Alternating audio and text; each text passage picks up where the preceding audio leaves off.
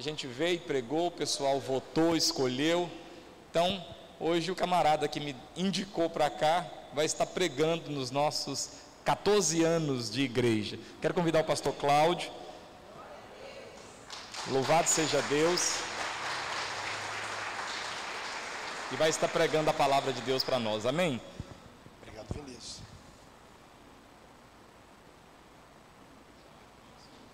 Queridos, graça e paz. É, eu disse pela manhã, é uma alegria. Você quer para me tirar uma foto lá do senhor? Deixa eu tirar uma foto aqui, a camisa é igual, nós vamos Camisa cantar é juntos igual. depois, tá? Quem ficou mais bonito, Cecília? Não fala nada agora, senão ele vai ficar chateado. né? Né? Mas, queridos, é, hoje de manhã eu disse, uma alegria é, estar aqui e ver o que Deus fez durante todos esses anos. Eu conheço a igreja desde praticamente o seu nascedouro. É, acompanhei o processo, porque o fundo Aquiles Barbosa era mantenedor do, do trabalho aqui, como foi no oeste de Minas, em várias igrejas. E eu era o executivo da convenção naquele momento. Então, alguns passos que a terceira dava via fundo missionário, eu acompanhava também. Então, eu, com uma grande alegria, hoje posso eh, vislumbrar o que Deus fez aqui nesses 14 anos. Acredito que não fora tão fácil. Algumas lutas durante esses anos, elas aconteceram e algumas não foram poucas, né? Foram muitas. Mas, sobretudo, prevaleceu a mão do Senhor sobre esse lugar. Sobretudo, prevaleceu a graça e a bênção do Senhor sobre esse lugar, e isso nos alegra. A igreja expandiu, a igreja tem crescido, tem tentado alcançar não apenas a Rua da Prata, mas outras cidades adjacentes. Eu disse hoje de manhã, esse é o papel da igreja. A igreja precisa lançar fundamentos, e foi para isso que a igreja nasce, ou a igreja nasceu principalmente para isso, para que lançasse fundamento. Quando a gente estuda a história da igreja no livro de Atos, você vê que a igreja nasce com um propósito de gerar igreja. A igreja não nasce para se em si mesmar. Óbvio, gostamos de uma igreja com um prédio bonito, com tudo bacana, com certeza. Mas o mais importante é que a igreja tenha uma compreensão e uma visão que nós estamos aqui para saquear o inferno e povoar o céu. Né? Esse deve ser o nosso princípio básico. Princípio básico de fazer discípulo, de reproduzir a palavra de Cristo. E El Shaddai tem cumprido ao longo do tempo esse papel que lhe é cabível como igreja. Pastor Vinícius, nós nos tornamos amigos por volta aí dos 17, 18 anos aproximadamente, se não por volta disso, porque foi logo depois que a filha nasceu e que detectou a necessidade de uma mudança de local. Em Montalvânia não é aqui, não é ali, né? Quem já foi em Montalvânia sabe que é um chão arrumado. Deus foi bom com ele também, hein? Deus foi bom com ele, viu? Porque. E tinha um irmão lá na igreja lá que vocês precisam ver. O irmão deu uma cabeçada num boi e o boi caiu duro pro lado. Você tem ideia como é que o negócio lá era complicado. Irmão Manel, não é, Vinícius? Manel. Ele numa moto, ele deu uma trombada no boi, meteu uma cabeçada no boi, o boi caiu duro para o outro lado. Você imagina o que quem fazia com o pastor lá, essas coisas tudo, né? Então Deus tirou o pastor de lá rapidinho, né? Estou brincando, mas é também uma igreja boa, uma cidade bem longe realmente, dentro dos seus limites, uma igreja boa. E aprove a Deus trazer pastor Vinícius, sua família para cá, e nós hoje estamos colhendo frutos e desejamos colher ainda outros frutos oriundos do trabalho efetivo dessa igreja, da cooperação e do abraço de cada um dos irmãos. Meu nome é Cláudio, eu sou casado com Marley, sou casado há 36 anos, tenho três filhos, Jonatas, Rafael e Isabela, tenho quatro netos, tenho Ana Clara, Lucas, Felipe e o Ethan, ou Ethan, né? que é o nome dele. Esse, essa minha filha mora nos Estados Unidos, então nasceu lá o neném. Eu até preciso ir lá já, porque o neném já fez um ano. Eu tenho que ir lá, mas está tudo fechado. Sou pastor da igreja Batista Lírio dos Vales, lá no céu azul. Eu já estou no céu. Os irmãos estão a caminho do céu, né? né? É o Shaddai, é o Todo-Poderoso, mas eu já estou no céu, né? Então, sou filho daquela casa, praticamente, porque eu nasci em minha mãe, quando minha mãe foi para a igreja, eu tinha seis anos, ela foi para a igreja pentecostal. Depois, logo depois, eu fui para a faculdade, me afastei, desviei. Quando eu voltei, eu regressei para Lagoinha, onde tinha uma congregação, e essa congregação era muito próxima à nossa casa. No princípio, eu frequentava uma, uma congregação de Lagoinha, onde um primo é pastor, eu tenho três pastores na família. Comecei a frequentar lá porque eles decidiram me abraçar e logo depois eu conheci a minha esposa lá, nessa igreja, que era bem próximo da minha casa, duas ruas da minha casa.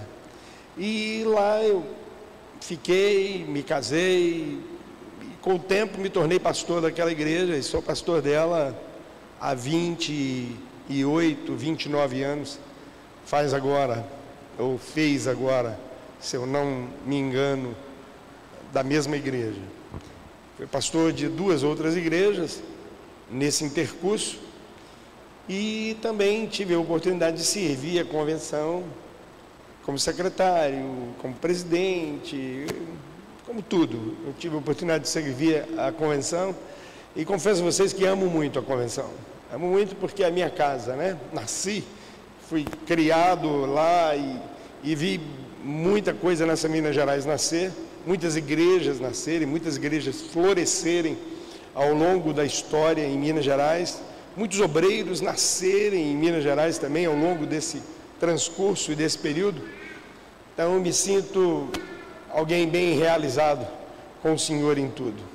E só tenho que bem dizer o Senhor por tudo aquilo que ele fez. Eu não sou merecedor de coisa alguma, de absolutamente nada. Ele tirou os meus pés de um charco de lodo e colocou os meus pés sobre uma rocha. Eu, só para que você saiba, durante o tempo que eu fui para a faculdade, eu fui criado na igreja, desde que minha mãe foi, e eu fui para a faculdade muito cedo, e quando eu fui para a faculdade muito cedo, menino, cheguei lá, me enveredei pelo caminho do álcool, das drogas, e foi um negócio assim, terrível, né?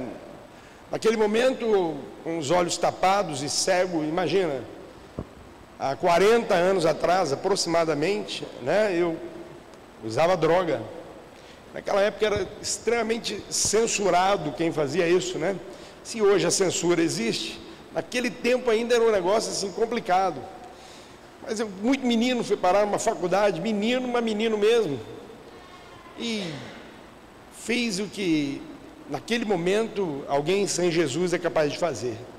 Mas me formei em dezembro, dia 8 de dezembro, voltei para Belo Horizonte, um cunhado pastor, em Lagoinha, e ele ia dirigir um, acampamento do Confra Jovem. Me convidaram para ir, e eu na casa da minha irmã, sentadinho lá, fui lá, minha irmã morava na rua da igreja de Lagoinha, e ela morava três quadras da igreja. Fui para lá cedo naquele dia, antecedendo o carnaval, e eu queria pular o carnaval de qualquer maneira. Se tinha uma coisa que eu queria fazer, é pular o carnaval em Ouro Preto ainda. Lugar onde o capeta fazia festa, eu queria ir para lá, né? E eu fui para casa da minha irmã cedo nesse dia. E quando eu cheguei lá e sentei, ela tinha uma, uma mesa do lado de fora, assim, sentamos lá e começamos a conversar. Daí a pouco chegou um grupo de, de irmãos jovens que eram ligados ao, ao meu cunhado, meu cunhado os pastoreava, e eles começaram a pregar para mim. Eu acho que meus, é, eu acho que minha irmã e meu cunhado devem ter falado para todos aqueles, ó, aquele meu irmão está desviado, cai de pau, né? E toda hora eles me prendiam na mesa e ó, só pregando, só pregando. E eu falava, vou embora agora. Aí depois, quando eu pensava assim, eu vou embora, chegava mais um grupo. Aí, não, senta aqui, é meu irmão. Aí eu ficava sem jeito de sair e eles, ó, pregando, pregando, pregando. Aquilo foi o dia quase todo. Por fim, eu decidi ir para o acampamento com eles. Eu decidi, falei, vou no acampamento. Não vou lá pular carnaval, não, vou no acampamento. Fui para casa, peguei minha mochila, arrumei a mochila, falei para o acampamento com esses crentes, até gostei deles, né? Bacana. Porque na época da faculdade, quando eu estudava, e eu estudei em Viçosa, é, eles iam, hora que apareciam os crentes, eu morava no alojamento, depois eu fui morar em República, hora que os crentes apareciam, eu pulava a janela, a janela do meu quarto dava direto na piscina, eu pulava do lado da piscina, saía vazado para eles não pregarem para mim. Tinha um camarada lá que chamava Silas e o outro chamava Messias, que eu falar para você, que eu via de longe assim, eu já desesperava, né? eu falei, meu Deus, e eu tinha contado para eles que eu nasci no Evangelho. Aí eles me perseguiam mesmo, né? E decidi ir para o acampamento. Eu decidi ir para acampamento, arrumei as coisas, fui para acampamento, mas não houve o acampamento. Não houve o acampamento porque a ponte que dava acesso ao local para onde íamos, ela quebrou naquele dia. E meu cunhado decidiu, junto com o meu primo também, que era pastor, a regressar em todo mundo e a Lagoinha era muito pequena, muito pequena mesmo, e decidiram que nós ficaríamos lá e faríamos uma campa dentro. Tinha um cenáculo do lado com três andares, mais o templo embaixo, era uma porta de vidro. Devia dar um espaço de uma vez e meio isso aqui, esse, essa distância do templo, se não um pouquinho mais. E eu voltei com eles, colocamos as coisas lá em cima, fizeram um breve culto. Agora nós vamos subir lá para o cenáculo, nós vamos dormir no segundo andar, no terceiro andar nós vamos fazer uma vigília. Aí fui com eles e tal, aí falei, ah, eu vou embora. Aí fiquei deitado, aí voltei, peguei um colchonete, deitei lá. O pastor Hélio Zenaido, que, que ele conhece, pastor Helder também ele conhece, que era de missões é, eram da mesma igreja que eu na Cidade Nova, nesse momento, que havia convertido. E eu os conhecia, né, já um, um tempo, principalmente o pastor Helder, porque eles eram da igreja pentecostal junto com a minha mãe e a minha família. E aí o que acontece? É que naquela noite, eu estou lá com eles assim, estou deitadinho num canto assim, num colchonete, Aí manifestou o pessoal lá em cima pulando, dançando, cantando, e o negócio estava bacana lá para eles. E eu deitadinho, falei, meu Deus, esses crentes, que coisa de doido, né? Esses crentes pulando, cantando. Né? Aí manifestou uma pessoa demoniada assim, num canto assim, o pastor Hélio Zenai, ô irmão, falei, fala. Aí, vamos expulsar aquele demônio ali. Eu falei, você está doido? Expulsar demônio? O bicho vai pular em cima de mim, você está doido, você está você tá perturbado da cabeça. Eu, outro dia cedo, eu juntei a minha mochila, falei, meu Deus do céu, eu estou aqui no lugar errado, e vou cascar fora. Aí casquei fora. Eu nunca fui um exímio jogador de futebol, mas também nunca fui ruim. Eu me colocasse, eu tinha uma, uma camisa garantida. Naquele dia estava melhor um pouquinho no sábado. E aí, jogando bola, tinha um camarada que a gente sabia que ele ele era do centro espírita, eu dibrei ele algumas vezes, ele falou assim, se você me dibrar de novo, eu vou arrebentar você. Aí eu falei, agora que é a hora, né? Dibrei ele para um lado para o outro, ele eu falei, você vai me machucar. Aí ele de novo, pá, futebol é para homem, não é para mulher não, pá. A hora que o sangue ferveu, eu falei, agora eu dou nele um supapo. Aí, naquele dia, a experiência que eu tive, que comecei a ter com Deus, foi um dia anterior. Naquela hora que eu ia revoltar o braço na orelha dele, eu escutei: seu lugar não é aqui, seu lugar é lá na igreja. Aí eu parei, e eu sou hemorrágico, não sou nem sanguíneo, né? sou hemorrágico. Agora estou aprendendo a ser sanguíneo, mas eu era hemorrágico, né? Qualquer coisa eu explodia. Parei, voltei para trás, disse assim: parei, coloca outro no meu lugar. Fui em casa, tomei banho, peguei minha mochila, fui para a igreja. E naquela noite eu tive uma experiência fantástica com Deus. Mas a experiência havia começado um dia antes. Aquela noite o pastor João Carlos Marques, do Rio Grande do Sul, estava pregando. E eu fiquei lá atrás nas portas de vidro, bem encostado nas portas de vidro, que já era saída. Então qualquer coisa eu já vazava, né? Fiquei lá atrás e ele pregou e ele eu ouvi a palavra. Logo depois que ele pregou, ele, e era só a juventude, a juventude havia enchido o salão, porque eram todas as congregações de Lagoinha estavam lá, todas as juventudes. E naquele dia, ele fez um apelo, ele disse assim: quem quer aceitar Jesus ou reconciliar-se com Jesus, levante a sua mão e dê um passo à frente. Comecei a ter uma experiência fantástica com Deus naquele dia. Porque eu não conseguia, eu fiquei de pé, mas eu não conseguia mexer a ponta do pé. Daqui para baixo eu estava imobilizado, literalmente imobilizado, eu não conseguia fazer isso com o pé. E começou uma guerra, uma batalha espiritual naquele lugar. Como eu conhecia a igreja, eu fui criado boa parte na igreja, e a experiência maior começou aí, porque nesse momento Deus a usou em línguas. E olha, irmãos, eu, eu não sei te explicar, eu jamais eu conseguiria explicar o que eu vou dizer para você aqui. E assim como eu tive dificuldade, você vai ter também. Mas ela começou a falar em línguas e eu entendia o que ela falava em línguas. Ele traduzia, mas eu entendia literalmente o que ela falava. E eu lembro que eu pensei algumas coisas, eu disse assim, eu estou muito jovem para aceitar Jesus. Eu acabei de pensar isso, você falou assim, não, você não está muito jovem. Esse é o tempo. Pensei comigo assim, mas acabei de formar agora. Engenharia, eu tenho todo um campo pela frente. Você só formou porque eu permiti. Eu disse, mas olha, eu não, os meus propósitos para a sua vida são maiores do que você imagina. E aí, à medida que eu ia pensando, o Senhor falava, ele traduzia, mas eu entendia.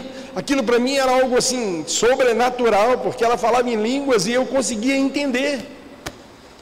E eu me lembro que o Senhor disse assim: é, vão, todo, todos os irmãos comecem a levantar a sua voz em oração, porque há um moço nesse lugar que Deus tem um propósito todo diferenciado para a vida dele. E começou uma guerra, uma batalha espiritual naquele lugar. Os jovens orando, pulando, sabe? E de repente o Senhor disse assim, convidou todo mundo para ir à frente. E o Senhor disse assim: pode sair do seu lugar, porque eu corto todos os laços e amarras que te seguram. Eu usava droga, eu bebia, eu fumava. Naquele momento eu tirei o pé do chão, dei um passo para frente. Não consegui chegar até lá porque muitos jovens voltaram ao Senhor naquele dia, mas nunca mais. Eu não pedi a Deus que me libertasse do cigarro, da bebida ou da droga, mas nunca mais eu voltei a beber, a fumar, a fazer qualquer coisa. Aquele dia foi uma experiência marcante na minha vida, fantástica. Eu estava com uma camisa branca com um cigarro aqui, e o cigarro derreteu, formando uma mancha marrom.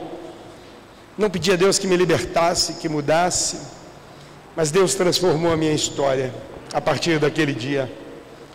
Eu diria que esse Deus que conhecemos é assim, ele faz coisas sobrenaturais.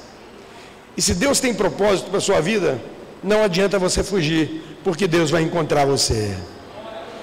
Deus tem propósito para você, então não adianta fugir. Deus vai te encontrar. Diga isso para o irmão do lado assim: não adianta fugir, Deus vai te encontrar, né? Não adianta fugir, Deus vai te encontrar. E se os propósitos de Deus para a sua vida são mais elevados, aí é que não adianta você esconder mesmo, porque Ele vai te encontrar, né? Não tem jeito, Ele vai te encontrar. E alguns de nós, Deus tem propósitos mais elevados. A todos nós Ele tem propósito mas alguns ele tem propósitos mais elevados. Então pode ser que você seja um desses. E, e Deus irá te usar de forma sobrenatural. Né? Eu quero ler um texto com você que está em Isaías capítulo 54.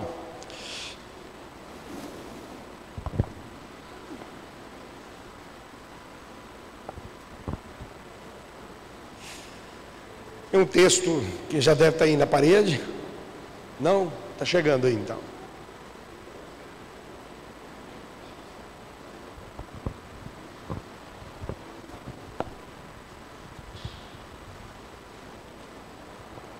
Diz o texto então: Canta alegremente, ó estéreo, que não deste a luz. Exulta com alegre canto e exclama: Tu que não tiveste dores de parto, porque mais são os filhos da mulher solitária do que os filhos da casada, diz o Senhor. Alarga o espaço da tua tenda. Estenda-se o todo da tua habitação e não em peças. Alonga as suas cordas e firma bem tuas estacas. Porque transbordarás para a direita e para a esquerda. A tua posteridade possuirá as nações e fará com que se povoem as cidades assoladas. Não temas, porque não serás envergonhada. Não te envergonhes, porque não sofrerás humilhação, pois te esquecerás da vergonha da tua mocidade e não mais te lembrarás do opróbrio de tua viuvez. Porque o teu Criador é o teu marido, o Senhor dos Exércitos é seu nome, e o Santo de Israel é o teu Criador, é chamado Rei de toda a terra. Porque o Senhor te chamou como uma mulher desamparada, de espírito abatido, como uma mulher da mocidade, que fora repudiada, diz o teu Deus. Por breve momento te deixei, mas com grande misericórdia torno a acolher-te. No ímpeto de indignação, escondi de ti a minha face por um momento, mas com misericórdia eterna me compadeço de ti, diz o Senhor, o teu redentor. Aleluia! Então eu quero convidar você a fechar os seus olhos agora. Senhor bendito, nessa noite nós te louvamos, te adoramos. Tu és digno de honra, glória, louvor e adoração, e nós nos encontramos neste lugar para celebrar e bendizer o nome do Senhor. O seu nome deve ser dignificado, honrado, glorificado, exaltado por nós. E nós o fazemos sempre em nossa vida, porque não há Deus sobre nós senão o Senhor. Tu és o nosso Deus, Tu és o arrimo da nossa sorte, Tu és o nosso esconderijo, socorro bem presente na hora da angústia. O Senhor é aquele que acalenta o nosso coração, é aquele que diz para que não temêssemos, pois o Senhor andaria e estaria conosco todos os dias da nossa vida. Pai, nessa noite nós estamos neste lugar para celebrar o Teu nome. Bem dizer-te, Senhor, com alegria, por todas as conquistas de El Shaddai até aqui. Obrigado porque com mão forte o Senhor tem conduzido e sustentado esse lugar. O Senhor tem levantado homens e mulheres, guerreiros neste lugar, a fim de que o reino do Senhor seja propagado, a fim de que a igreja do Senhor alargue as tendas nesta cidade e tantas outras. Obrigado, Senhor. Continua a levantar homens valentes e guerreiros neste lugar Continua, Senhor, a saquear o inferno para que o céu seja povoado. Usa homens e mulheres, jovens e crianças neste lugar. Usa-os para a glória do teu nome, pois teu é o reino, o poder e a glória para todos sempre. Em Cristo Jesus. Amém e amém. Glória a Deus. Queridos, esse é um texto profético. A nação de Israel vivia um momento de muita crise nesse momento. Havia uma crise espiritual muito grande. Havia alguns conflitos neste momento de toda a história, e se você volta, e cronologicamente talvez fique mais, mais fácil para entender, talvez se você lê sequencialmente você tenha algumas dificuldades para compreender, mas se você volta cronologicamente para estudar a história, Israel vivia um momento de muito conflito espiritual naquele momento. O coração do povo havia se apagado, a chama do coração do povo havia se apagado. Não havia louvor, não havia alegria, não havia gratidão no coração de todo o povo. A nação vivia deserdada. Não que o Senhor houvesse a deserdado, mas ela deserdou o Senhor.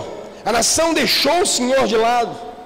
A nação voltou-se para os seus interesses próprios. A nação voltou os seus olhos para aquilo que lhe era interessante.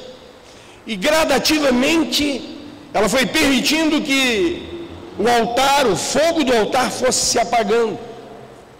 E cada qual tomando o seu próprio rumo, a sua própria direção, vivendo um quadro espiritual de muito desgaste, de muita queda e de muito distanciamento de Deus.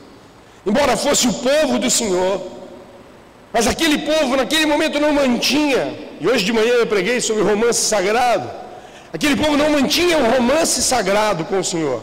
Haviam esquecido o romance sagrado. Aquele povo vivia agora por si só. Vivia de lembranças da tradição oral do que Deus havia feito, e o povo judaico, a nação judaica, a tradição oral para eles é algo muito forte. De geração em geração eles contam a história do seu Deus, a história da criação, a história dos patriarcas, e eles vêm nominando a história ao longo do tempo. Então todo judeu sabe contar a sua história por causa da tradição oral, e eles viviam agora de uma tradição oral daquilo que havia acontecido, daquilo que Deus havia feito ontem. Só viviam de lembranças do que Deus havia feito ontem. Meu querido, eu quero dizer para você que você não pode viver de lembranças do que Deus fez ontem.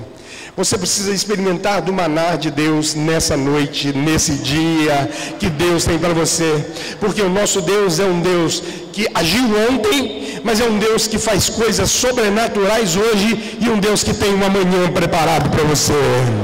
O nosso Deus é o Deus do sobrenatural, é o Deus que faz coisas fantásticas, é o Deus que nos surpreende, é o Deus que tem para conosco um zelo tremendo e um cuidado tremendo, e em todo tempo Ele busca nos atrair até Ele. E agora Ele levanta um profeta para que o profeta profetizasse a nação de Israel, chamasse a atenção daquela nação, para que aquela nação pudesse se voltar para Ele de novo, e Ele usa a figura de uma mulher. Ele usa a figura de uma mulher estéril. A mulher estéril era alguém que não produzia, que não podia produzir coisa alguma por causa da sua esterilidade. E a comparação que o Senhor faz da nação agora estava literalmente com a esterilidade, com aquela mulher estéril. O Senhor faz daquela mulher o estereótipo da nação. E o Senhor usa para falar com a nação a figura da mulher estéril. A figura da mulher é o símbolo da família, é o símbolo da igreja. Então, literalmente, quando olhamos para a igreja, um dos símbolos da igreja é a mulher. Mas um dos símbolos da nação é a mulher. E Deus usa a figura da mulher para dizer assim: há muita esterilidade no meio de vocês. Há muita esterilidade, há muitas pessoas que não produzem mais nada, há muitas pessoas que não conseguem mais adorar, há muitas pessoas que perderam a alegria da adoração, há muitas pessoas que perderam a alegria da comunhão, da unidade, há muitas pessoas que ao longo do tempo me deixaram de lado, fizeram as suas trocas e barganhas por algumas coisas que eram necessárias, mas esse é o tempo de resgate, é o tempo de voltar-se para mim de novo, porque se por um tempo eu me afastei, se por um tempo eu tirei os de vocês, se por um tempo eu os deixei abandonado, esse é o tempo de trazer vocês de novo para uma comunhão comigo. E o Senhor toma a iniciativa de buscar o seu povo. Usando a figura da esterilidade, o Senhor chama a atenção da nação. Usando a figura da esterilidade, o Senhor bate na nação. E esse era um momento, olha, misericórdia, um momento de muito desgaste. Se você for analisar toda a história, e por isso eu disse cronologicamente, é, é um pós-exílio muito complicado. Porque eles haviam ficado muito longe da nação, vivendo apenas de tradição oral, se lembrando sempre de quem era o Senhor e do que fizeram ao Senhor, mas o relacionamento da nação com o Senhor era um relacionamento pífio, com muita tristeza no coração. Eu diria que, embora cresçamos como igreja, mas o nosso relacionamento com o Senhor ainda é muito pífio, ou muito pequeno o nosso relacionamento com o Senhor. Já não há em nós talvez a mesma vibração, já não há em nós a mesma alegria, o mesmo calor, já, já não há em nós a mesma entonação para algumas coisas, a mesma dedicação para algumas coisas. Porque ao longo do tempo nós nos acostumamos com as coisas sagradas, nós nos acostumamos com o santo. Nós nos acostumamos com a igreja, nos acostumamos com canções que cantamos na igreja, nós acostumamos a, a, frequentar uma igreja e literalmente só trocamos de lugar, mas mantemos apenas uma religiosidade figurativa, ao invés de mantermos uma relação santa com o Senhor. Ao longo do tempo, nós estamos vendo que o cristianismo, principalmente o nosso meio evangélico, cresce e cresce de uma forma avassaladora mas nunca se viu uma igreja tão distante do seu Deus como nossa. Em toda a história da igreja, nunca se viu uma igreja crescer tanto, mas uma igreja que não tem raiz, uma igreja que não tem profundidade, Uma igreja que cresce, mas não lança raízes. Uma igreja que cresce, mas não frutifica, como deveria frutificar. Eu não estou dizendo El Shaddai, eu estou me referindo à igreja no Brasil, à igreja no mundo nesse momento. Hoje, com clareza, nós abrimos os lábios para falar que somos um, boa parte de uma nação evangélica. O presidente faz até menção disso e fez menção disso hoje, numa palavra que ele deu em relação à palavra que Silas emitiu sobre ele. Nós até nos chamamos de nação evangélica, um grupo bem expressivo. Mas eu quero dizer que nós não podemos ser expressivo pelo número que somos, mas por aquilo que somos. Nós somos embaixadores aqui nessa terra. E nós estamos aqui de passagem, nós estamos aqui pro tempore, e nós precisamos marcar o nosso tempo e a nossa geração vivendo como igreja do Senhor aqui, vivendo efetivamente como filhos do Senhor nesse lugar, marcando a história dessa geração, marcando a história aqui, aos irmãos que aqui estão marcando a história dessa cidade, deixando claro quem é o nosso Deus e o que o nosso Deus é capaz de fazer. Quando ele faz a comparação da mulher estéreo, o Senhor estava talvez falando: olha, há esterilidade no seu coração, você não produz mais como você produzia, você já não tem mais tempo para produzir coisa alguma, você está muito mais centrado naquilo que lhe interessa, naquilo que lhe é próprio, do que naquilo que eu tenho para você. E eu quero dizer para você uma coisa nessa noite. Pode parecer um chavão, mas não é. Os propósitos de Deus para a sua vida são maior do que você tem experimentado até aqui. Os seus olhos não viram, os seus ouvidos não ouviram, e ainda não entrou no seu coração tudo que Deus tem preparado para você. Você pode dar um glória a Deus? Os seus olhos não viram, os seus ouvidos não ouviram, e ainda não entrou no seu coração tudo o que Deus tem preparado para você. Isso é motivo de você dar glória a Deus o tempo todo, porque os seus olhos não viram, os seus ouvidos não ouviram, e o seu coração ainda não percebeu que Deus tem coisas grandiosas para você. Então desperta tu que dormes, levanta dentre os mortos e Cristo te iluminará. Eis que chega a tua luz e ela vem brilhando, ela nasce como sol pela manhã e se porá como sol à noite, porque a graça do Senhor vai sobre ti. É tempo de nos levantarmos, é tempo de deixar a esterilidade de lado, é tempo de nos atentarmos para aquilo que Deus quer para nós, é tempo de voltarmos para o Senhor. Se o Senhor nos deixou por um breve tempo a nossa mercê, a nossa própria sorte, agora Ele está dizendo que Ele vem ao nosso encontro para nos resgatar.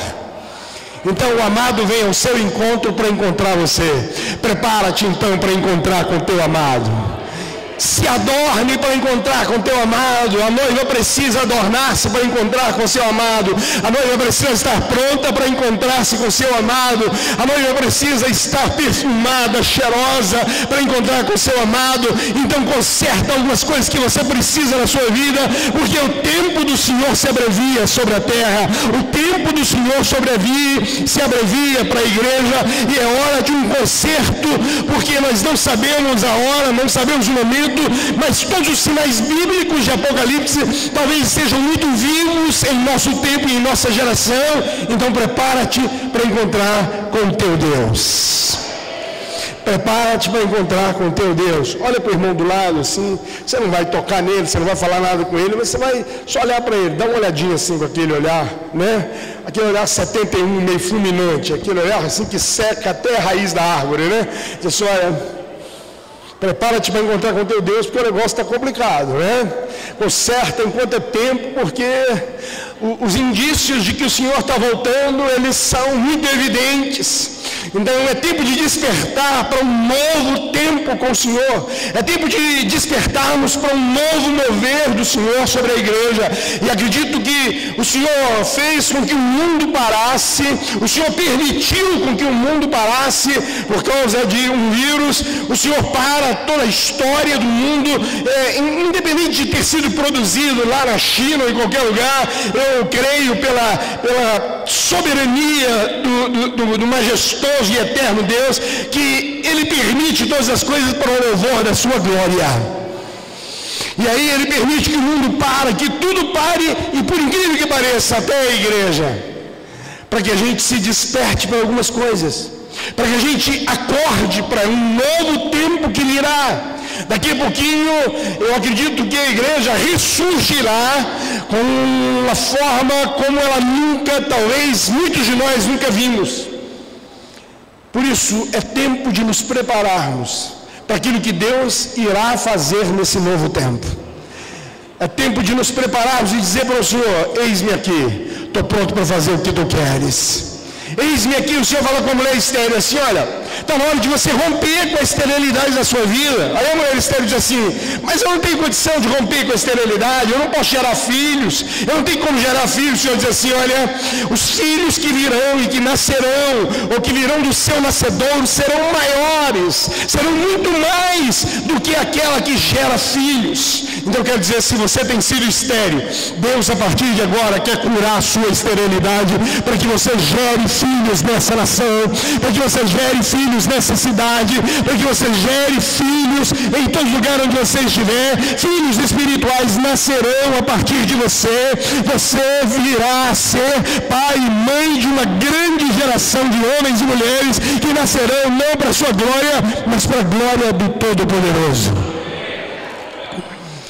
E ele disse para aquela mulher: não prepara, desculpa, não se preocupe, porque eu, o Senhor, sou o teu marido. Eu, o Senhor dos exércitos, o Rei de toda a terra, sou o teu marido, sou o teu Criador. Sou eu que estou dizendo isso para você. Não é mais ninguém que está dizendo, não, sou eu, o Todo-Poderoso, que está te dizendo que se por um breve tempo eu te deixei, agora eu virei a ti novamente, para que algumas coisas aconteçam na sua história.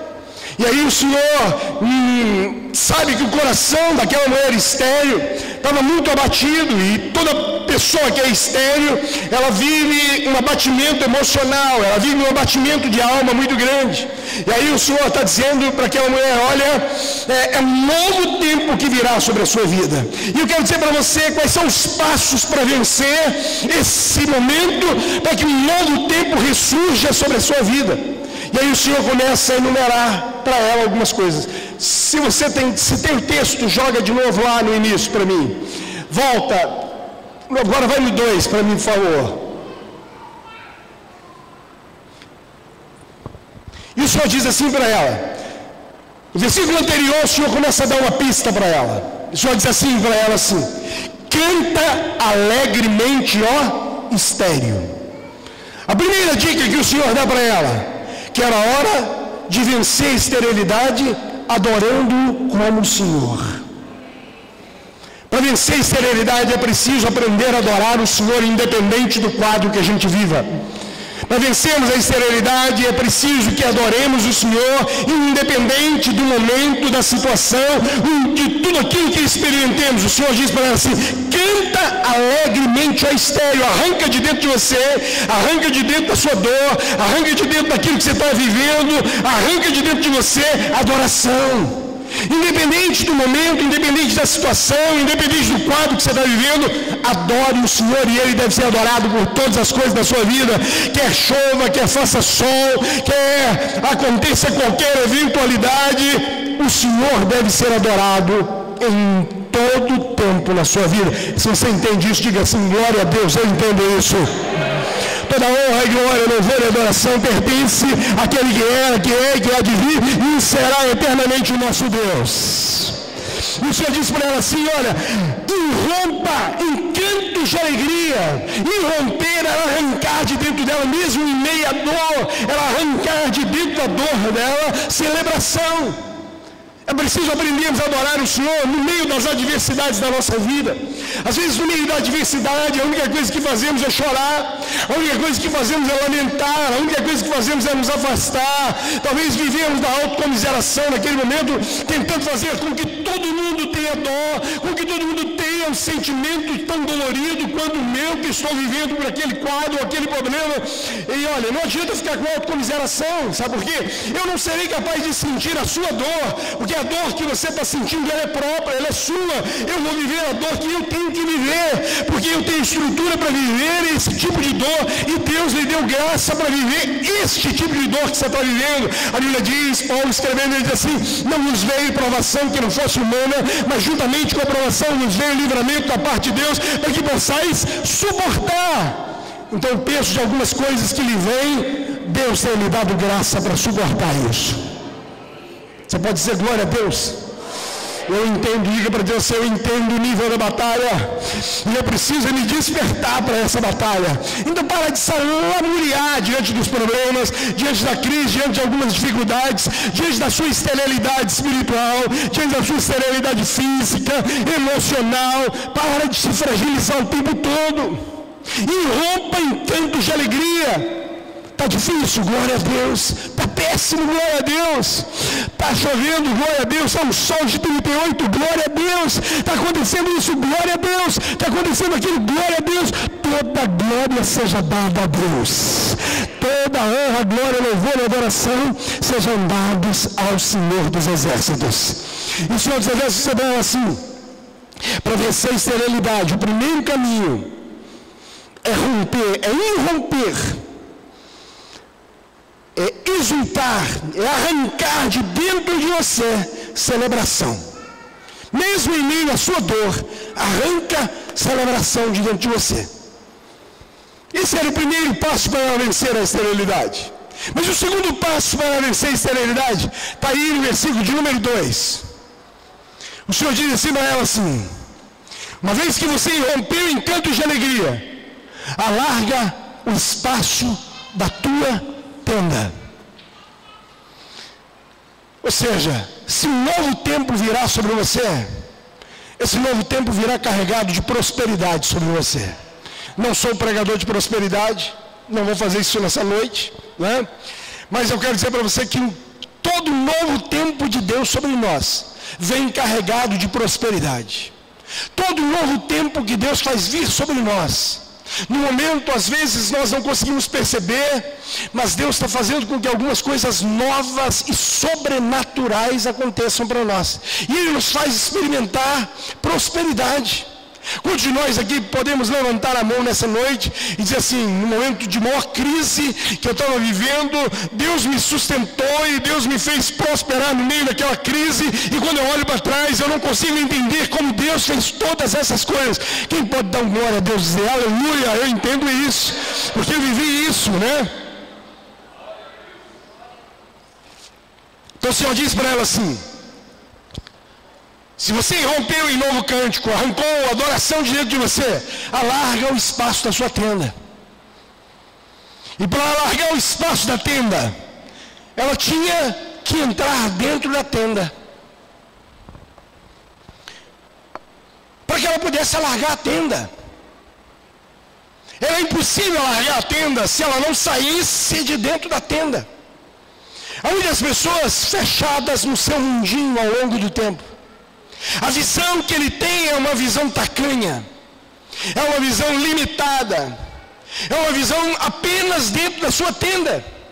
Mas quando Deus diz para ela assim, sai de dentro da tua tenda, o Senhor querido estava dizendo para ela assim, eu vou te dar uma visão nova, você vai conseguir ter uma perspectiva nova de vida, você vai enxergar outras coisas a partir de agora, porque eu vou te fazer ter uma visão diferenciada de tudo. Eu quero profetizar isso para você nessa noite. Sai da tua tenda, porque Deus quer te mostrar coisas novas para você experimentar. Sai de dentro da tua tenda, porque coisas novas virão sobre você.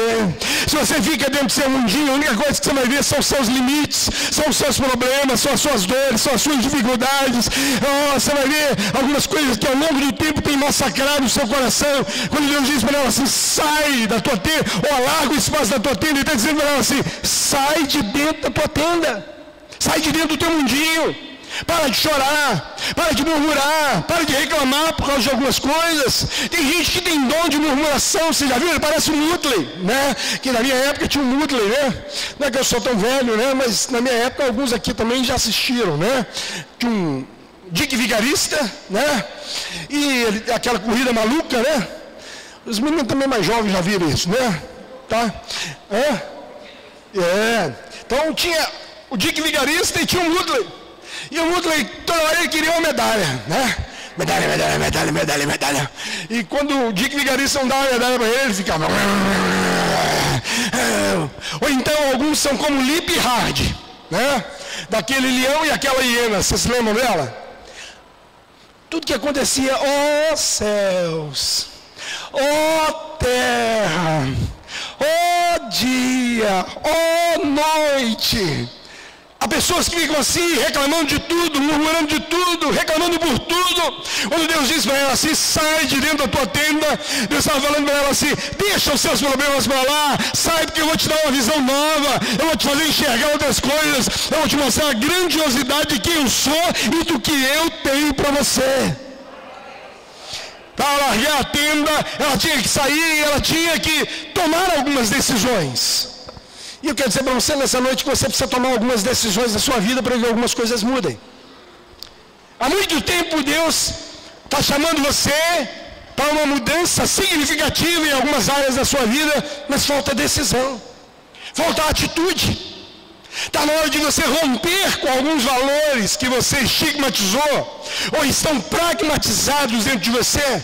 Está na hora de você romper com algumas coisas para fazer o que Deus quer. Chega de fazer o que você quer, o que você sabe, o que você pensa. Mas aprenda a fazer aquilo que Deus quer que você faça. Alargar o espaço da tenda era sair para fora. É ter uma visão nova. É sair da sua zona de conforto. É sair do seu mundinho para experimentar coisas novas do Senhor. E eu quero, com base na palavra, dizer para você que esse será um tempo novo para você. Com base no que diz o texto, eu quero dizer que esse será um momento sobrenatural sobre a sua vida. É um tempo onde você vai experimentar a prosperidade de Deus. Um tempo onde você vai experimentar coisas novas do Senhor que há muito tempo você não experimenta. É tempo de você ver milagres de Deus acontecer na sua vida. É tempo de você experimentar coisas que você ainda não experimentou. Mas para isso é preciso tomar decisões. Aquela mulher era uma mulher estéreo. E Deus disse para ela assim: você precisa adorar, mas você precisa sair de dentro da tua tenda, precisa largar a tua tenda. Então, a segunda coisa é sair de dentro da tua tenda para largar. Porque se o novo de Deus virar, o ambiente onde você está é pequeno para Deus ocupar. E Deus quer espaço maior na sua vida para fazer coisas maiores através de você e em você. E aí diz o texto, a terceira coisa que Deus diz para aquela mulher: Estenda-se o todo da tua habitação e não o impeças. Ela tinha que sair da tenda, ela tinha que arrancar as estacas, ela tinha que arrancar as cordas, ela tinha que desfazer a tenda para refazer de novo. Mas o Senhor disse para ela assim: não o impeças. O Senhor sabia que o maior impedimento para que algumas coisas acontecessem não seria externo, mas seria interno. O maior impedimento para que algumas coisas aconteçam na nossa vida não são situações externas, são situações internas.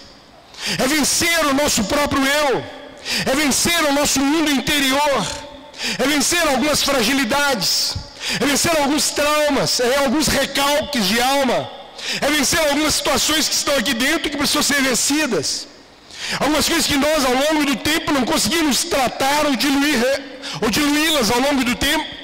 E todos nós temos uma história, e todos nós somatizamos situações ao longo do tempo e guardamos dentro de nós somatizados é, parte de uma história de tristeza, de fracasso, de dor. E aí, literalmente, o Senhor diz para ela assim: não o impeças, porque esse é o momento de eu fazer coisa nova na sua vida, então não impeça.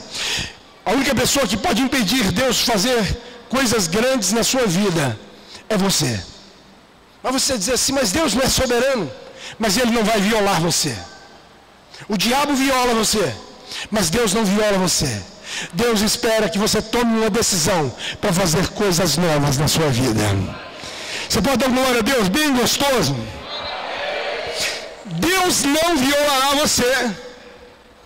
Ele espera que você tome uma decisão. E você pode sair daqui nessa noite tomando uma decisão que esse será um tempo novo sobre a minha vida. Aleluia! Esse será um tempo novo sobre a minha vida. E olha o que o texto diz: não impeça. O Senhor está dizendo para ela assim: para com as suas resistências pessoais, para com as suas resistências emocionais, para com as suas resistências diante de algumas situações, e deixe que eu seja Deus para você. Pare de tentar resolver algumas coisas, pare de tentar fazer na força algumas coisas. Deixe que eu seja Deus para você. Eu sou teu marido, eu sou teu criador, eu sou o redentor de toda a terra. O Senhor reafirma isso para ela no final do texto várias vezes. Eu sou o teu criador, eu sou o teu marido, eu sou o redentor, eu sou o Deus de toda a terra. O Senhor fala isso para ela do versículo 5 em diante. Ele repete isso várias vezes para que ela entenda a grandiosidade do marido do Senhor. Ela era uma mulher estéril, ele era o marido dela. Era ele que faria com que ela prosperasse. E ele queria que ela entendesse isso claramente. Quem vai fazer isso não é você. Quem vai fazer sou eu. Mas algumas decisões é você que precisa tomar. E aí, a outra Outro aspecto que Deus diz para ela é alonga as tuas cordas e firma bem tuas estacas. O Senhor manda que ela enroupa em alegria. O Senhor manda que ela saia da tenda. O Senhor diz para ela, se não impeças, agora o Senhor está dizendo para ela, se é a hora de remover os marcos. É hora de você fincar estaca em lugar diferente. É hora de você ser mais ousado. Que eu estou dizendo que a prosperidade virá sobre você que virá uma geração imensa, que virá prosperidade sobre você. Mas na hora de você romper, ou está na hora de você arrancar os marcos que te limitam e transferir os marcos para frente. Está na hora de você puxar as cordas e esticar bem.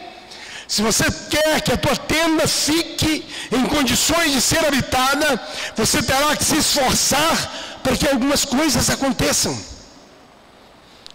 Ele diz assim: Eu sou soberano, eu sou o Senhor. Mas ele estava dizendo para ela assim: algumas coisas você precisa fazer. Tem algumas decisões que você precisa fazer. Tem algumas coisas que é você que tem que fazer, eu não vou fazer. Alguns de nós oramos, Senhor, muda isso, muda aquilo, Senhor faz isso, faz aquilo, mas nós não tomamos nenhuma decisão de mudança. E nós queremos que Deus mude alguma coisa. E quando Deus não muda, a gente é conformista e diz assim: é, não era da vontade de Deus. Espera aí. Deus falou inúmeras vezes, Deus falou por sonho, te falou por uma palavra profética, te falou por uma canção, te falou pela boca de uma criança, que seria um novo tempo, que haveria mudança, que haveria prosperidade, que haveria coisas novas sobre a sua vida. Deus estava indicando, Deus estava te dando sinais, Deus estava usando a palavra para falar com você, e de repente você diz assim, não, não era da sua vontade. Mas que tipo de esforço você fez? De que forma você se moveu em direção a Deus? Ele diz assim: olha, firma bem tuas estacas. Isso vai exigir esforço, faz as coisas certas. Para de ser um crente meia boca. Tem crente que é meia boca. Meia boquinha, né? Conhece, aqui não, Belo Horizonte tem uns crentes lá meia boca. Aqui em Lagoa da Prata, os crentes é tudo joia demais, não é verdade? Glória a Deus. Lá em Belo Horizonte tem uns crentes meia boca. Lá na igreja, então, oh meu Deus. Deus tenha misericórdia, né? Mas para de fazer as coisas como você pensa. Para de fazer as coisas meia boca. Faz as coisas como o Senhor deseja que seja feito. E por várias vezes você tem ouvido Deus falar com você da forma que deve ser. Não da forma que você acha, mas da forma que Ele, Deus, deseja que seja feito. Se você quer que um novo tempo venha sobre você, você precisa fazer não aquilo que você sabe fazer, mas aquilo que Deus deseja que você faça. Isso pode ser até antagônico dentro do seu coração. Isso vai ser até difícil de digerir. Mas a vontade de Deus é boa, perfeita e agradável. Pode te parecer difícil. Jesus diz em determinados momentos aos seus, ele diz assim: as coisas que eu faço agora. Alguém conhece o restante do texto? As coisas que eu faço agora, tu não as entenderás, mas tu as entenderás depois. Existem coisas que Deus permite no tempo presente, que é muito difícil de compreender. Mas mais tarde, quando nós olhamos para trás, nós entendemos que naquele momento Deus nos deu um livramento tremendo. Que Deus nos fez e sair de um estágio e mudar para outro de forma tremenda. Sabe por quê? Porque Ele é o Deus de toda a terra. Ele é o Senhor dos exércitos, Ele é o Criador, Ele é o nosso marido, Ele é o Senhor da igreja. Então Ele faz aquilo que lhe apraz. Só uma pequena história acerca disso. Talvez eu seja até enfático, né? Porque já, talvez eu tenha dito isso aqui uma vez. Mas tinha um certo jovem numa base, era uma base da aeronáutica, onde viviam cerca de 10 famílias. E essa base seria desativada. E chegou uma ordem em que todos deveriam voltar e regressar para Pernambuco. Tinha uma família entre aquelas dez que era crente. Todos eles eram crentes. Eles oravam, chamavam os outros que estavam na base para orar com eles. Eles faziam culto doméstico continuamente. A vovó dessa pessoa morava com eles. E tinha um, um coronel que estava nessa base, que ele zombava o tempo todo da fé daquela família. E sempre que tinha culto, eles iam lá e convidavam todo mundo para o culto, pastor. Todo mundo. E aquele coronel zombava. E quando sai a ordem de remoção de todo mundo que a base seria desativada, no dia que o avião chega, a mãe desse sargento, a avó desse camarada que contou o testemunho, a pressão dela sobe demais da conta. E ela tem um pico de pressão e ela não podia voar para sair da base. Eles teriam que ficar lá e o coronel disse assim que naquele momento eles iam embora de qualquer maneira. E que eles ficariam lá até um próximo momento, quando algum avião fosse lá buscar eles. Aquele rapazinho disse que chorou demais porque eles oravam a Deus para Deus tirá-los daquela base. Eles oravam incessantemente. Mas pouco antes de entrarem no avião, o coronel ironicamente disse para eles assim: Cadê o Deus de vocês? Onde é que está o Deus de vocês? O dia que o avião chega para buscar todo mundo, a sua avó está aí doente, sua avó não pode viajar, cadê o Deus de vocês? Ele falou que o coração dele se abateu na hora, como se o mundo caísse, destruísse a história. E aí, de repente, eles vão embora. E eles ficam lá. E o, a mãe chama todo mundo para orar e agradecer a Deus com muita dor no coração, mas agradecer ao Senhor, ou seja, arrancar louvor no meio da tristeza do coração deles naquele momento. E eles põem a orar ao Senhor e agradecer. E aí eles ficam sabendo no outro dia que aquele avião saiu e ele caiu no meio da mata, morreu todo mundo. A única família que foi poupada foi a daquela família onde aquela vovó ficou doente e nenhum deles entraram naquele avião. As coisas que Deus faz, nós não entendemos. Naquele momento era momento de dor, tristeza, porque eles queriam voltar para casa e não podiam. Não nos alegramos porque morreram todo mundo, deveriam ser salvos.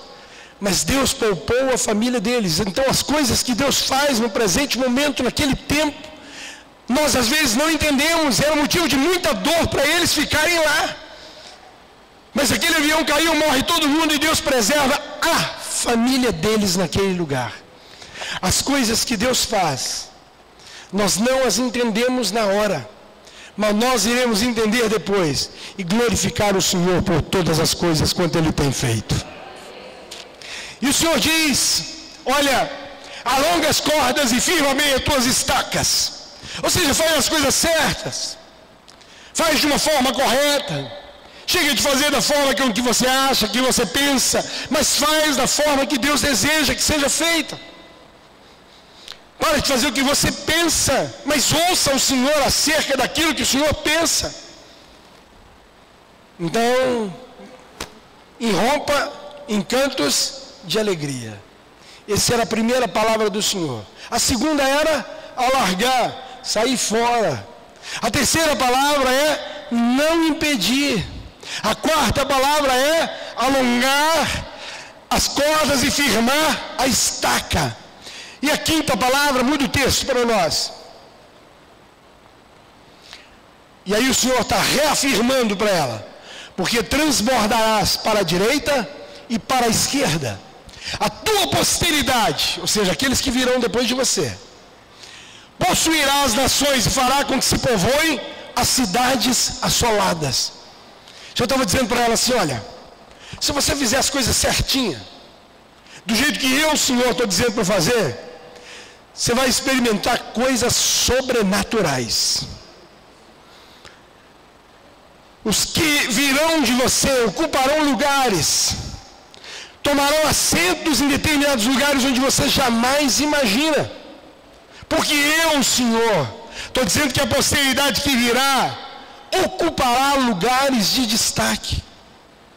A prosperidade virá sobre você de uma forma sobrenatural, alcançará a sua casa, alcançará você emocionalmente, alcançará a estrutura familiar, alcançará financeiramente a sua casa.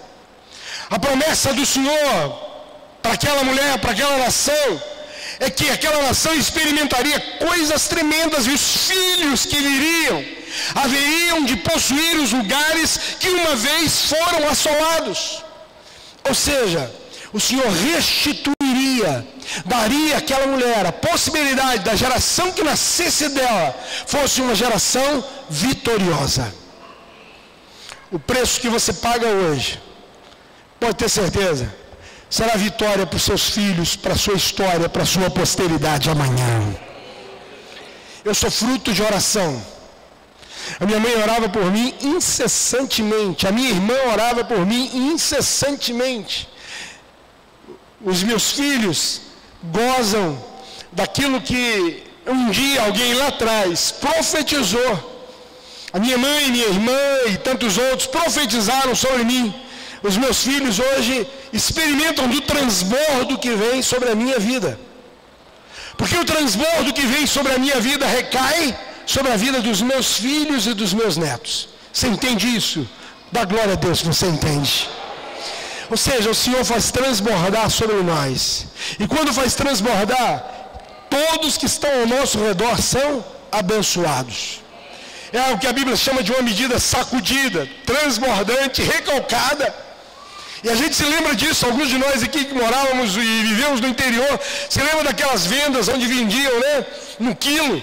E o camarada vinha com um saquinho, vinha com aquela coxa, né? Tinha uma balancinha com pezinho, né? Eu sou daquela época ainda, hoje tudo digital, né? Mas sou velho não, né? Mas tinha uma balancinha, falar isso para os meninos, eles pensam que a gente está brincando com eles, né? Mas tinha uma balancinha que você colocava uns pesos aqui, e colocava um saquinho aqui. Mas antes do camarada colocar o saquinho aqui, ele batia em cima do balcão, e depois ele colocava o saquinho em cima da balancinha, e ia colocando mais uns pezinhos para ver com a gramatura, né? Que teria, ou a quantidade de grama que teria, o peso que teria aquele saquinho que estava colocando. Ainda que ficasse equilibrado a balança, o que, que nós dizíamos? Coloca mais um pouquinho, né? Ou seja, Coloca mais um pouquinho aí, o cara vinha e colocava. Essa é uma medida que transborda, que passa dos limites. E é assim que Deus faz com nós. Deus faz transbordar a bênção dele sobre a nossa vida, recai sobre os nossos filhos, recai sobre os nossos netos, recai sobre aqueles que estão ao nosso redor, porque a bênção que vem sobre mim respingará, ou ela, ela alcançará aqueles que estão ao meu redor, isso é transbordar. E o Senhor vai encher de uma forma tal, de, um tal, de uma tal maneira, que aquilo que está ao meu redor será abençoado pela bênção do Senhor que virá sobre mim. E eu quero reafirmar nessa noite que a bênção do Senhor virá sobre a sua vida, que recairá sobre a sua posteridade. A sua posteridade ocupará as cidades assoladas, a sua posteridade ocupará e ela obterá a bênção do Senhor em função daquilo que o Senhor fará na sua vida. Aleluia! Você pode dar um glória a Deus, dá um glória a Deus, aleluia! Glória a Deus! Eu já estou concluindo, porque senão eu falo até né, amanhã e vou falando né, e tal. Mas coloca outro texto para mim. E o Senhor disse para ela assim: Não temas, porque não serás envergonhada, e não te envergonhes, porque não sofrerás humilhação, pois esquecerás a vergonha da tua mocidade, e não mais te lembrarás do opróbrio da tua viuvez. O Senhor está dizendo para ela assim: não tema o que as pessoas possam falar, o que elas possam pensar. Não tema a sua história passada. Olha para frente. É tempo de você se lembrar que eu, Senhor, sou o teu marido. E sou eu que estou fazendo coisas novas na tua vida.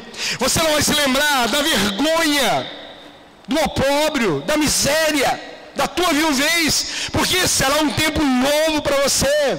Olha, não vai haver humilhação, muito pelo contrário.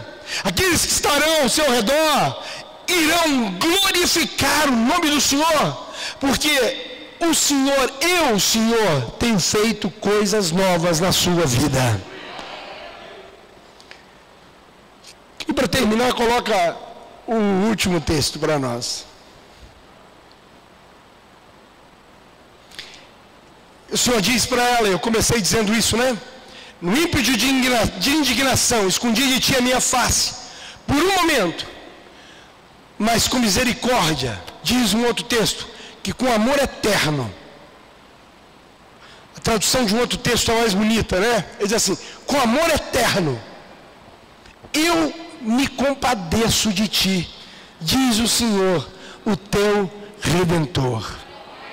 Com amor eterno, eu te amei como? Eu estou ficando surdo. Eu acho que é NA, acho que é NA, eu não tenho certeza se é NTLH ou se é NA. Diz que com amor eterno. Olha que coisa linda. Com amor eterno, olha, eu compadeço de ti, diz o Senhor, o teu redentor. Queridos, o amor que Deus tem por, si, por você é um amor inigualável. Ainda que você esteja passando por um momento de luta ou tribulação, batalha ou crise, o Senhor não se esqueceu de você. No ventre da sua mãe, o Senhor já te conhecia. Lá ele já te chamava pelo nome. Lá ele já cuidava da sua história. Isso porque ele é Deus. Para terminar, ele diz assim: Eu sou o Senhor, o teu Criador, eu sou o teu marido. E eu preguei hoje de manhã, ele diz assim: Aí eu quero terminar com uma frase, né, Claudiana. Eu tenho um romance sagrado com você e eu não abro a mão. Eu não abro mão desse romance sagrado com você. Desse romance divino, eu não abro mão dele com você porque esse será um tempo novo sobre a sua vida. Esse será um tempo novo sobre a sua vida. Esse será um tempo novo sobre a sua vida. Vamos ficar de pé, eu quero te convidar a ficar de pé. Quero convidar os meninos aqui que tocam uma canção bacana aqui.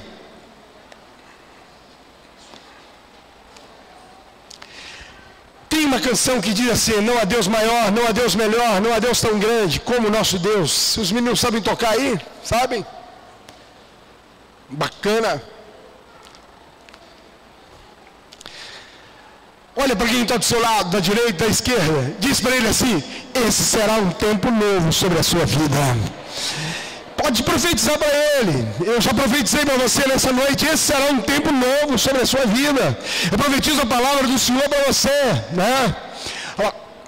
No impulso de indignação escondi de você por um instante o meu rosto, mas com bondade eterna terei compaixão de você, diz o Senhor, o teu redentor. Profetiza para ele. Diz assim: o teu redentor tem um romance sagrado com você. E ele não abre mão de você. Um tempo novo virá sobre a sua vida. Um tempo novo virá sobre a sua história. Um tempo novo virá sobre a sua casa. Um tempo novo virá sobre a igreja. Um tempo novo virá sobre nós. Desperta tu que dormes. Levanta dentre os mortos e Cristo te iluminará. Esse será um tempo novo para você. Um tempo onde a graça de Deus virá sobre você você precisa tomar decisões. São as decisões que mudam a nossa história. Porque o Deus que foi ao Calvário, ali ele decretou mudança para nós. Mas a decisão de que essas mudanças me alcançassem são minhas. Pode ser um mero ato de estar na cruz. Eu olhar para lá e entender isso mas não tomar atitudes em relação a essa mudança significativa na minha vida ou sobre a minha história. Mas esse será um tempo novo para a sua vida. Será um tempo novo para sua casa, será um tempo novo para sua história, será um tempo novo para sua família, será um tempo novo para a igreja, será um tempo novo para esse lugar, porque o Senhor dos Exércitos, o teu Criador, é o teu marido, é o teu Redentor, Ele é o Rei de toda a terra, diz o Senhor dos Exércitos. Eu sou o Rei de toda a terra. Vamos lá, vamos adorar o Senhor.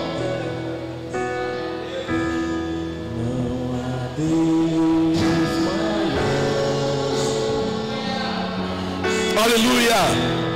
Não há Deus melhor. Não há Deus tão grande. Não há Deus tão grande. Como nosso Deus.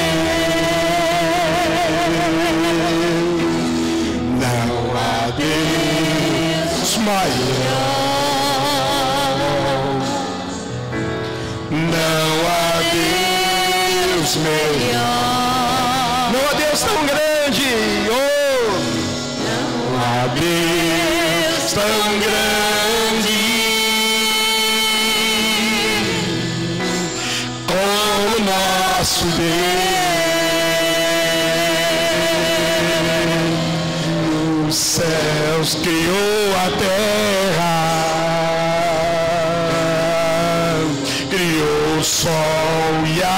as estrelas.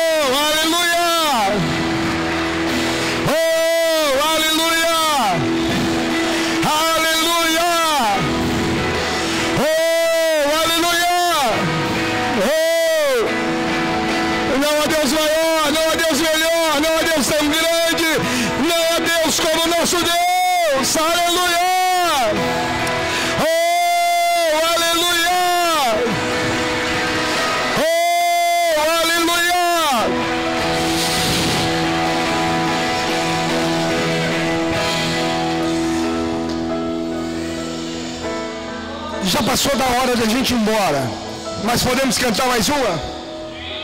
Quão grande é o meu Deus? Não vou cantar para não atrapalhar, não, vou deixar só eles cantarem.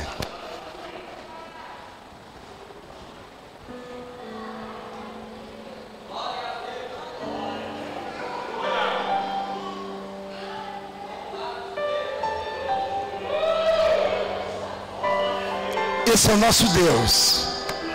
É um Deus grande, tremendo, soberano. Deus que fez os céus e a terra, que nos fez para o louvor da glória do seu nome. É um Deus que estabeleceu uma aliança comigo, com você, com a sua casa. Aleluia.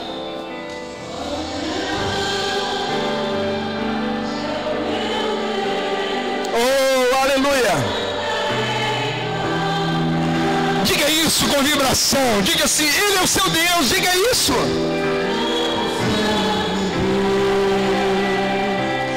Quão grande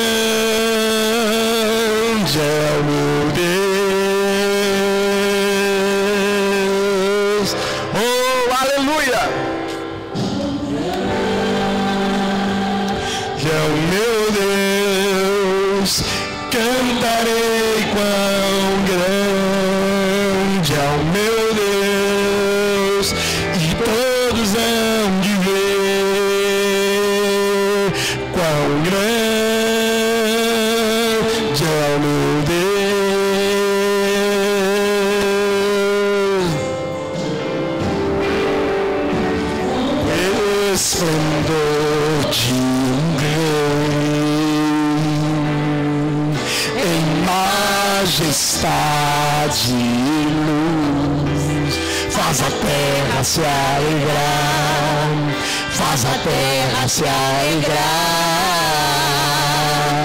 Ele é a própria luz e as trevas vão fugir e tremer com sua voz e tremer com sua voz.